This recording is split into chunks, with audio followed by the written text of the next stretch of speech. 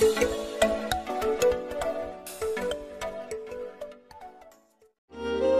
दर्शकबिन नमस्कार। यति बेला विष्णु बरालको एकदमै महत्त्वपूर्ण फलोअप रिपोर्टका साथ उपस्थित भइसकेका छौ। यो भिडियोलाई अन्तिमसम्म हेरी भिडियोलाई सानो लाइक गर्न नछुटाउनु होला र भिडियोलाई सक्दो सेयर गर्न पनि नछुटाउनु होला विष्णु बरालको हत्या केही दिन यता दाइजोको कारणले भनिए तापनि तर दाइजोकै कारणले नभएको खुल्लासा भएको छ। विष्णुका श्रीमानले मेरो अर्कै केटीसँग चक्कर रहेको छ। फुपूलाई भनेपछि ती फुपू र सासूले विष्णुलाई यसरी मारेका रहेछन्। पोखरीकी चेली विष्णु बरालको रहस्यमय घटनाले यति बेला अग्र रूपमा लिइसकेको छ। विवाह भएको सत्ताइस दिनमै आफ्नै घरमा झुन्डिएको अवस्थामा फेला परेकी विष्णु बरालको यति बेला नयाँ र ताजा रहस्यमय कुराहरू बाहिरिएका छन्। दाइजोकै कारणले गर्दा मारिएको थियो भने तापनि यति बेला अन्यहरू कारणले नै विष्णु बराललाई मारेका रहेछन्। दर्शकबिन यी अपराधीलाई ठुलो भन्दा ठुलो सजाय मिलोस् र विष्णु बराललाई छिटो भन्दा छिटो न्याय मिलोस् भन्दै हामी पनि भगवानसँग प्रार्थना गरिरहेका छौ। त्यति मात्र नभई सारा नेपालीको एउटै माग रहेको विष्णु बराललाई छिटो भन्दा छिटो न्याय मिलोस् र त्यति अपराध ती अपराधीलाई कडा भन्दा कडा कारबाही मिलोस् भन्दै यति बेला सारा नेपालीको माग रहेको छ। ती सोझी विष्णु बराललाई मार्ने ती अपराधीलाई कस्तो सजाय होस् भन्ने चाहनुहुन्छ? तपाईँहरूले आफ्ना मनमा लागेका कुराहरू कमेन्ट बक्समा गएर कमेन्ट गरिदिनु होला केही समय यता विष्णु बरालको घटनाले निकै चर्चा बटुलेको छ। दाइजोकै कारणले गर्दा विष्णु बराललाई मारिएको हो भने तापनि यति बेला भने अर्को नयाँ रहस्यमय कुरा बाहिरिएको छ।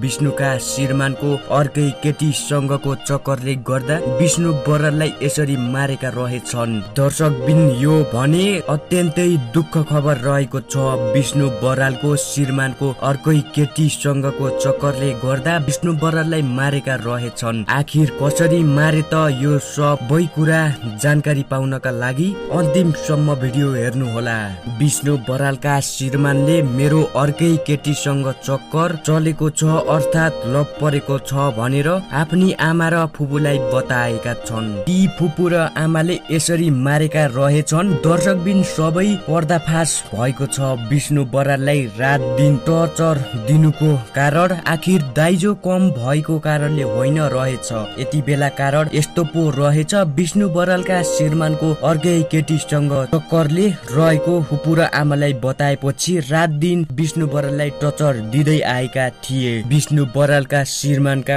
अर्कै केटीसँगको चक्करले विष्णु बराललाई थाहा नहोस् भन्दै विष्णु बरालका श्रीमान रात दिन एक्ला एक्लै बस्ने गर्दै आएका पनि थिए। खाली मोबाइलमा बिजी हुनुको कारण रहस्यमय बाहिरिएको छ। च्याटिङ अर्थात् कुरा गर्ने भएकाले विष्णु बराल भन्दा टाढै रहने गर्दथे। त्यसपछि यो घटना चाँडै नै थाहा हुन सक्ने भएकोले गर्दा सासु र फुपूले रात दिन दाइजो कम भएको भन्दै विष्णु बराललाई टचर दिँदै आए। पछि त्यति मात्र नभई विष्णुका श्रीमानले अझै दाइजो थोरै भएको भन्दै अझै दाइजो लिएर नत्र जे पनि हुन सक्छ भन्दै आएपछि विष्णु बराललाई तिहो सहन एकदमै गाह्रो भएको थियो। विष्णु बरालले सहने कोसिस गरिन् तर धेरै कोसिस गर्दा पनि उनले विष्णु बरालले अन्तिम फैसला लिन बाध्य भइन्। राहत दिनको त्यो टचर र विष्णु बरालको प्रतिको मायादेखि विष्णु बराल अगाएकी थिइन् र अन्त्यमा विष्णु बरालले एउटा निर्णय लिएर बाध्य भएकी थिइन्। यो संसारबाट विदा हुनु विकल्प बाहेक अरू कुनै पनि उनको दिमागमा आएको थिएन। विष्णु बराललाई यति बेला यो संसारबाट विदा गराउनुको मुख्य नाइके बनेका फुपू र सासु श्रीमान रहेका छन् आफ्नो छोराको अर्कै केटीसँगको चक्कर थाहा पाएपछि विष्णु बरालले केही नराम्रो गर्छ कि भनेर विष्णु बरालकी सासु र फुपूले यसरी मारेका रहेछन्। विष्णु बराललाई सिधै भन्न नसके तापनि विष्णु बराललाई रात दिनको टचर सहन नसकेपछि विष्णु बराल यो संसारबाट विदा भएकी हुन्। तर भने विष्णु बराल यति बेला सामाजिक सञ्जालमा दाइजोकै कारणले मारिएको हो भने तापनि तर विष्णु बराललाई दाइजोकै कारणले मारिएको रहेनछ।